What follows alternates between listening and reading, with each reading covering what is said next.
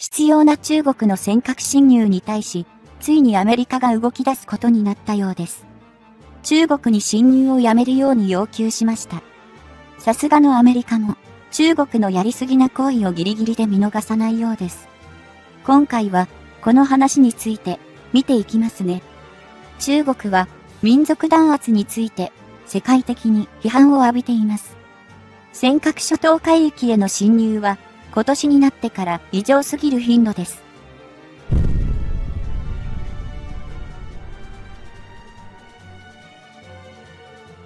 昨年2020年に引き続き、尖閣諸島近海での中国公船の不穏な活動は増加する一方です。特に2021年2月20日、21日の2日間、領海侵入など横暴な行動があったので、政府内では危機感が募っているようです。この2日間にこういった行動に及んだのは、中国海峡局の艦艇2隻で、日本の民間漁船を追尾するように、意図的に日本領海内に侵入したとみられます。武器を持っている艦艇に追いかけられた漁業者の気持ちを想像すると悔しいですね。文字通り、命からがらといったところだったでしょう。中国政府は2月1日から海峡局に関する法改正を施行させました。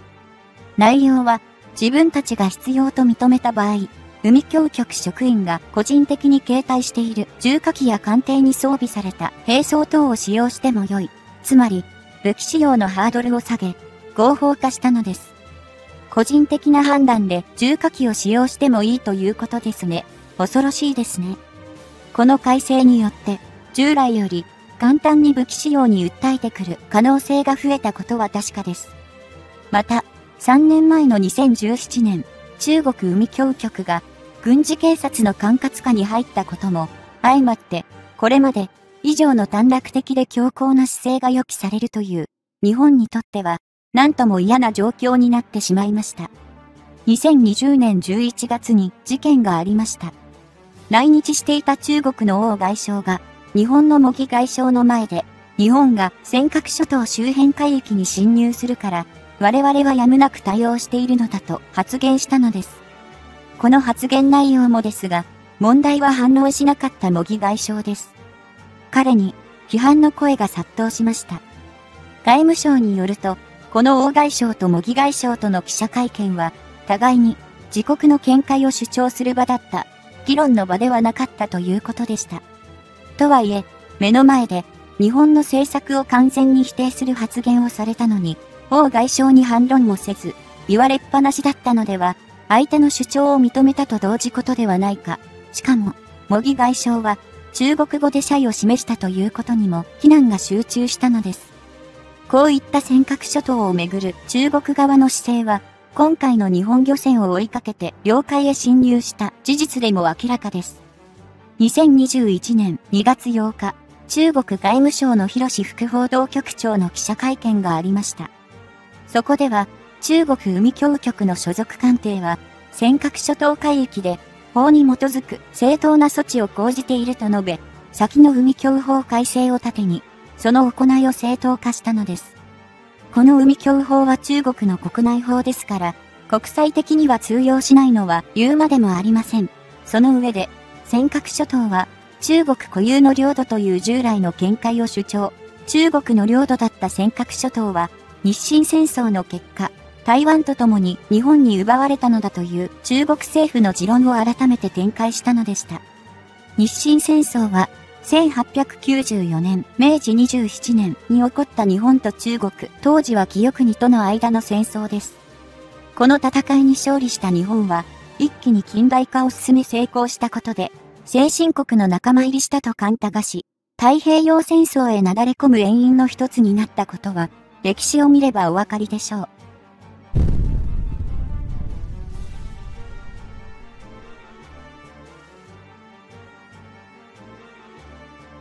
21世紀の今、100年以上前の戦争を持ち出されても、と思いますよね。それを言うなら、日本にも言いたいことがあります。太平洋戦争後にロシアが占領し、現在も支配し続けている北方領土。そして中国にも真の時代にロシア帝国に奪われた領土もあるはずですが、それはどうするんでしょう。さて、中国が尖閣諸島の支配権を盾に必要に海域侵入を繰り返している状況下でアメリカに動きがありました。2月24日の記者会見で国防総省のカービー報道官が尖閣諸島に日本の主権があると認めた上で中国の行動を非難する用紙の発言があったのです。一見、日本を援護してくれたように見えたので、さすがは同盟国と素直に喜んだ日本人も多かったはずです。しかし、それからわずか2日後の26日、報道官は、その発言の誤りを謝罪、日米安保条約に基づく尖閣諸島を含む日本の防衛には、これまでと同様アメリカが関与すると発言を修正しました。このカービー報道官の発言の修正の意味ですが、アメリカ政府は、従来通り、尖閣諸島の日本の施設権は容認するが、主権の存在については、その限りではないというどっちつかずの玉虫色ということになるのです。アメリカは、主権争いには介入しない、つまり中国側にも立たないが、日本側に立つつもりもないということでしょう。当てにならない同盟国ですね。日本は言われるが、ママに兵器を購入したり、思いやり予算と称して、毎年毎年、巨額の経費を在日米軍に貢いでいるのにね。2021年、アメリカは、共和党のトランプ政権から民主党のバイデン新政権に移行しました。政権が変わっても、尖閣諸島の防衛にはこれまで通り、アメリカの後押しが期待できると考えたのでしょうが、頼りな差が分かったようです。アメリカ一筋というのはかなり危険だと政府関係者が理解してくれたと期待したいのですが、前日のカービー報道官の修正発言を額面通りに受け取ると、アメリカが認めているのは尖閣諸島に日本が持っている施設権だけで、主権までは認めていないということでしょう。アメリカは、この方針を堅持すると、あえて示したということは、万が一、中国と日本の間で、尖閣諸島の主権をめぐる武力衝突が発生したとしても、アメリカが日本へ軍事的に支援をしてくれると当てにできないと考えるべきでしょう。長年にわたって貢いできた金はドブに捨てたということになりかねないのです。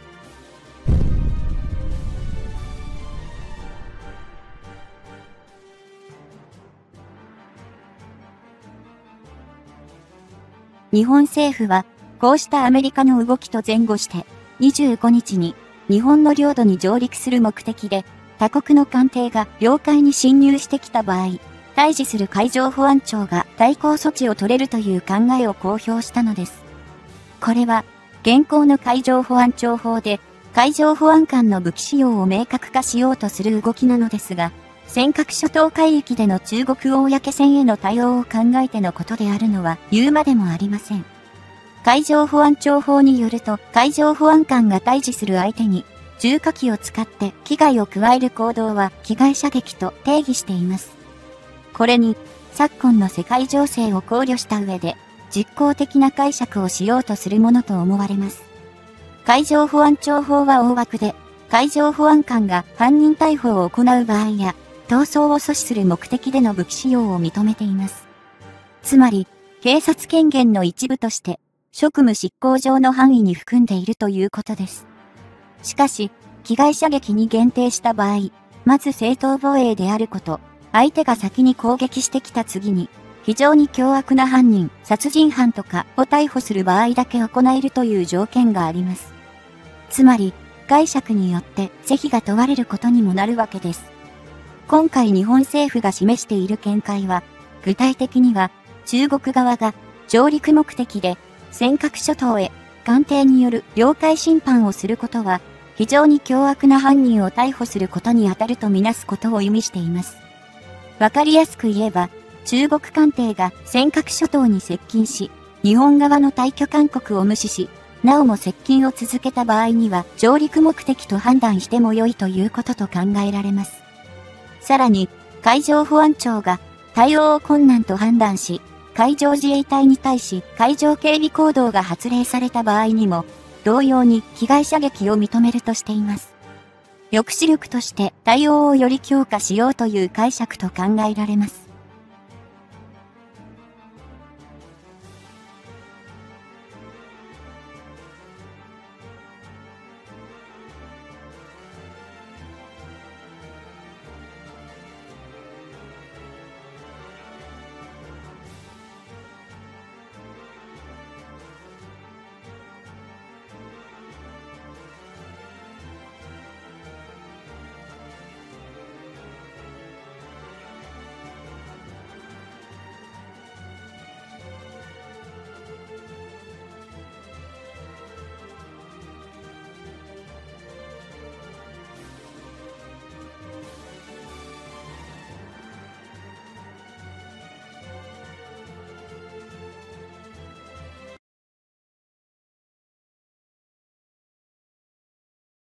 次期戦闘機開発の輸出問題で、自民党と公明党での輸出合意がなされたとの情報をキャッチしました。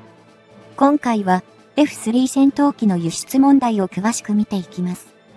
日本の次期戦闘機、ついに海外へ輸出開始です。自国製造できるかも、やはり鍵を握ってきています。輸入するだけでは今後防衛できない可能性が出てきています。中国の経済は最悪へ向かっていますし、中国国内の不満は外へ向ける形をとるでしょう。日本とかで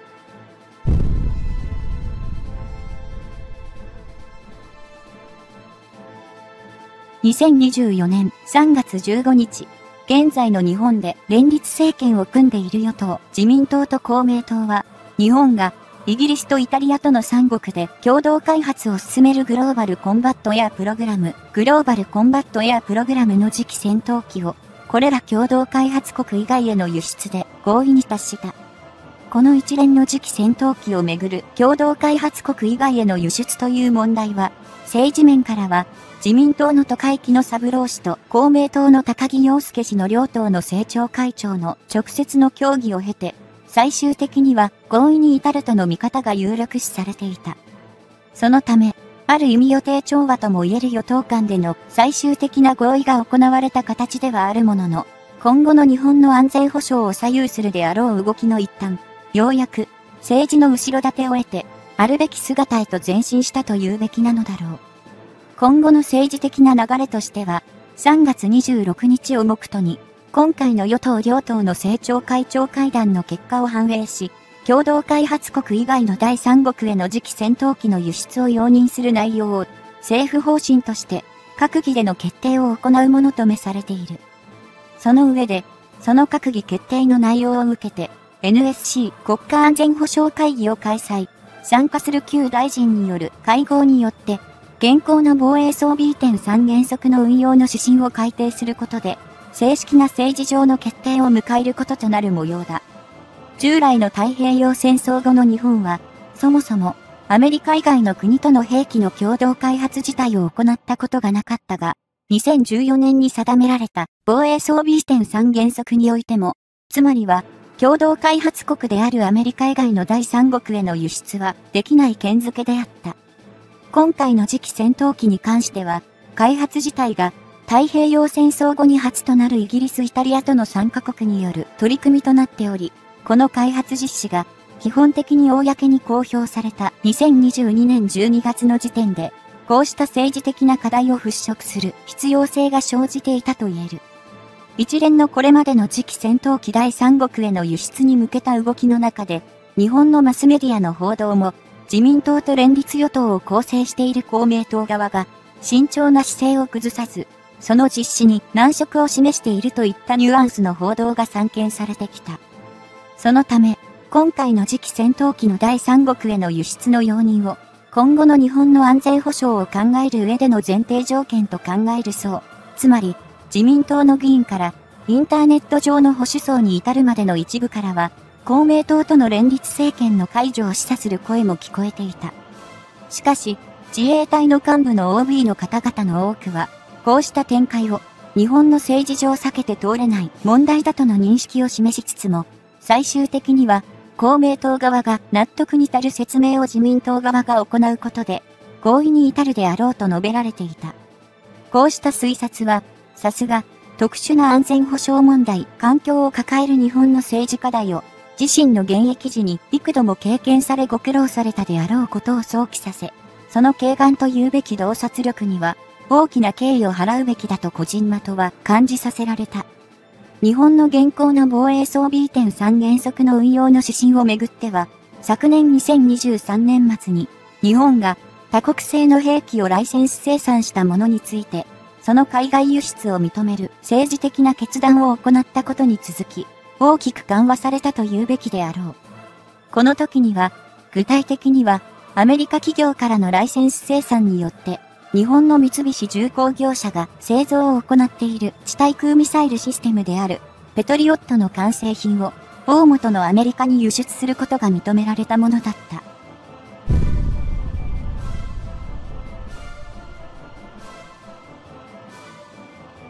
これは、すでに、この2024年3月時点で3年目に突入している、ロシアによるウクライナ侵攻によって、アメリカ自身が自軍の在庫品の中から、ウクライナへの兵器支援を実施したことに伴い、その補充を図る目的だったと解釈されている。個人的に、これらの動きは、日本は直接的に殺傷能力を有した兵器を、ことに、今、まさに、紛争の当事国である第三国、つまりは、ウクライナに対して輸出できないという制約を鑑みれば、その中での最大限の貢献に値するものだと感じる。ただし、正直な感想を述べることを許していただけるとするのならば、世界最大の軍事力とその装備を抱え、生産能力も有するであろうと考えられていたアメリカが、日本からの兵器輸入を気求するという事態には、一末の危うさを禁じ得ない。アメリカの現在の民主党のバイデン政権の施策に対し、自身の再登板を目指す元大統領のトランプ氏の共和党が、その政治的な思惑から、ウクライナへの兵器支援の実質的な妨害工作とも取れる動きを続けていることも不安に移る。いずれにせよ、トランプ再登板の機運も高まるアメリカの政治状況を見て、いささか、スタンドプレー的な嫌いを感じさせるものの、フランスのマクロン大統領などは、強硬な追ロシア政策を口にしているようにも見え、今後に注目すべきであろう。さて、日本の防衛装備移転3原則の運用の指針の改定についてであるが、自民党単独では、他国との共同開発兵器のその全てを、第三国への輸出も可能とする緩和策を考えていたが、連立政権を組む公明党の立場を考慮して、一旦、その考えを改めたとめされている。そこで、自民党は、すでに動き出している次期戦闘機開発に的を絞り、その開発費用が少なくとも兆円単位の膨大な投資が必要となることを念頭に置き、まずは、この次期戦闘機を、玉三国への輸出を可能とすることで、その費用負担を軽減させる方針とした。ただし、輸出先となる第三国については、その対象国は国連憲章が定めるところの目的と原則に合致していることを前提として、その内容になぞらえして、次期戦闘機の使用を行える国、つまり、現行の国際的な約束事を締約した国に限定することとした。これは、日本との間に、兵器類の適正な管理等を定めた、防衛装備品及び技術移転協定等を、すでに、締結済みの国に限定するとしたもので、この定義に該当する国家は、現時点では、世界で15カ国のみとなり、かつ、さらに、紛争の当事国は除くこととされた。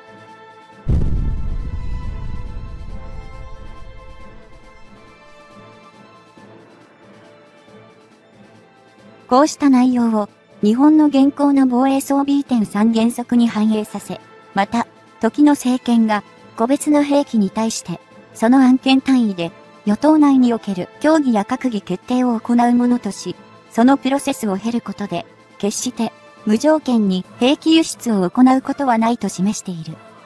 このあたりの現行の防衛装備移転3原則の今後の運用指針に対しての説明に関しては、良くも悪くも、いかにも政治的な言い回しや表現の塊とも言えそうで、日本の兵器輸出に全面的に反対する勢力からは、今後も批判は続くと思われる。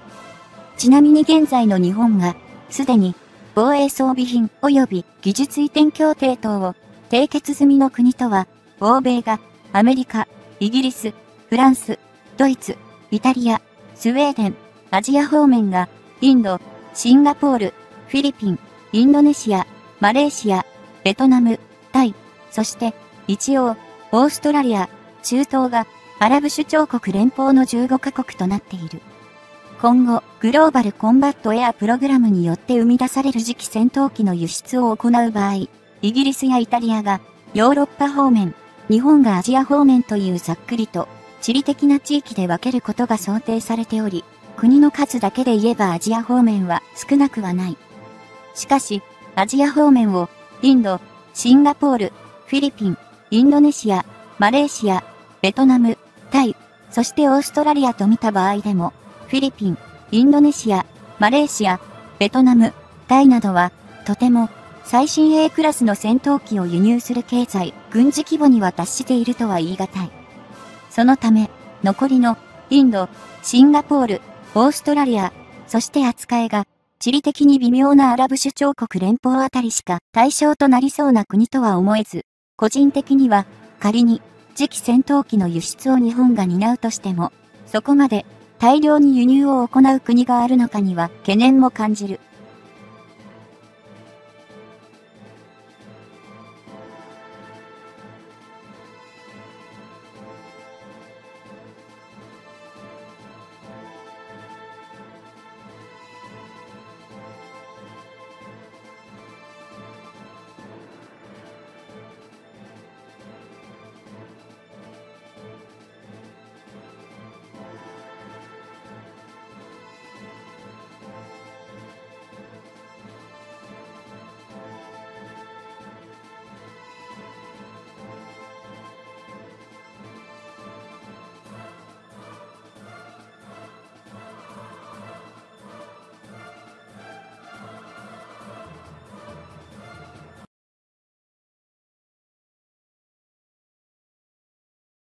民間の非営利団体アメリカ海軍研究所 USNI によると、日本最大級の軍艦が F35B ライトニング II 戦闘機の運用するために必要な試験を受けるため、2024年にアメリカ東海岸に来航するという発表が、2023年11月13日にありました。軍艦と、日本人としては突っ込みたいところがありますね。今回は、この F35B 認証試験について見ていきたいと思います。仮にですけど、ガガが改造終了後、初の長期公開を行い、そのまま F35B を完済して寄港ということはありませんよね。中国への抑止効果にもなるという意見はあるようですが、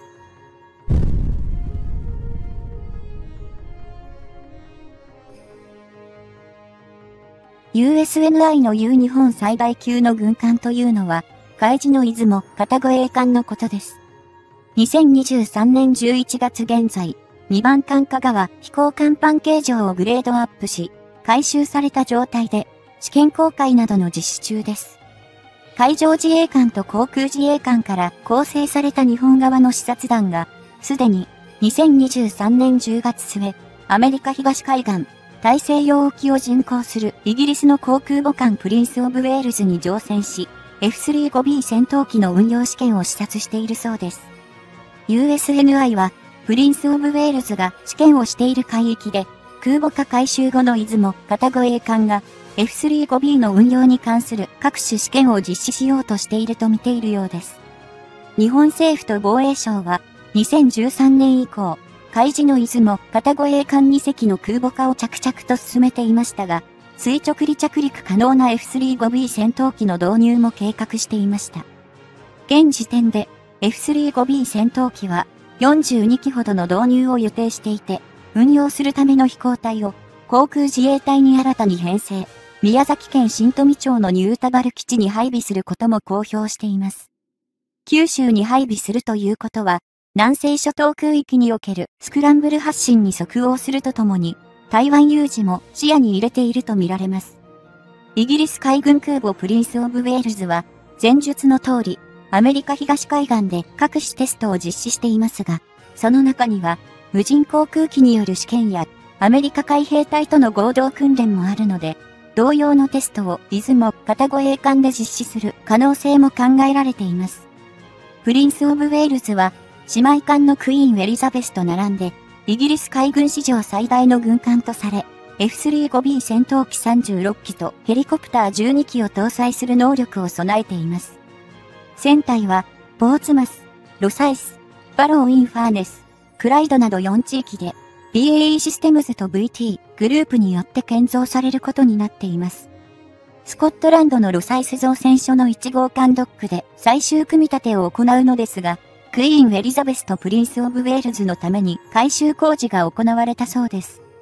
プリンス・オブ・ウェールズは、2022年8月27日、アメリカ東海岸での演習航海ウエストラント22に向かうためポーツマスを出港しましたが、出港直後に、右舷推進部の結合部や舵に損傷が発見されました。この事故のため、演習航海は中止となり、クイーンエリザベスが代わりに9月8日に出港したのです。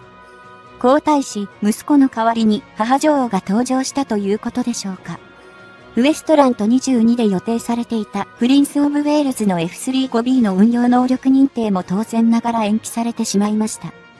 この損傷について、英国放送協会 BBC は、アメリカへ演習に出発した直後に故障、足を引きずりながら基地に戻ってきたとからかったのですが、シャレにもなりませんね。プリンス・オブ・ウェールズは、ロサイス造船所に入渠して修理しましたが、クイーン・エリザベスの部品取りにされているというデマも流れ、国防大臣が、これは一時的な応急処置と釈明する羽目になりました。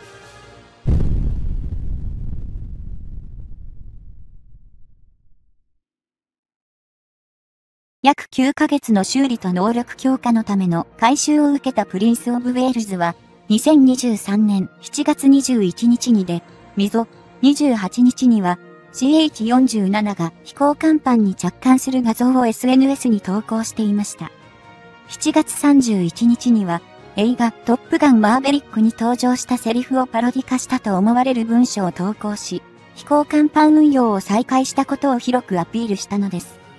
一方、軽空母への改修が完了した護衛艦加賀は、2023年11月17日に呉基地へ帰還しました。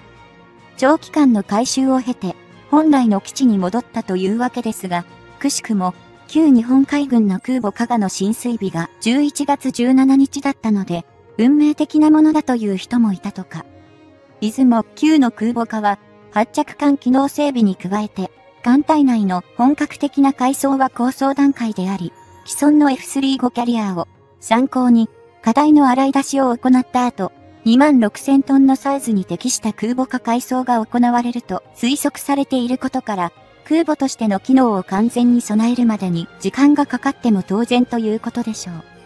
基本的に、艦艇排水量のうちでも、満載排水量は、船そのものの重量だけではなく、燃料や乗員の体重、水や食料、積載貨物なども含めた総合重量となるわけです。しかし、強襲揚陸艦の場合は、運航関係の乗員だけではなく、上陸作戦要員とその装備も含まれることになるのです。つまり、上陸作戦要員がいる分だけ、空母より広い居住区が必要となりますし、装備には戦車やトラックも含まれているので、車両孤島のスペースも必要というわけです。もちろん、上陸作戦関係の重量が増えたからといって、航空機の運用能力が拡大するわけではないというのは言うまでもありませんね。また、護衛艦加賀の空母化改装が終わったと言っても、関西機の F35B 戦闘機の取得も、空自パイロットや整備員の要請もまだまだで、これからスタートすると言っても誇張ではありません。こういった過程が終わったとしても、搭載可能な F35B は、たったの10機に過ぎないので、中国海軍やアメリカ海軍の正規空母の戦力とは、全く比べようもありません。最有力と思われる使用方法とは、イギリス海軍空母のように、アメリカ海兵隊の F35B 戦闘機も共に派遣してもらい、洋上補給基地として運用することではないのかと言われています。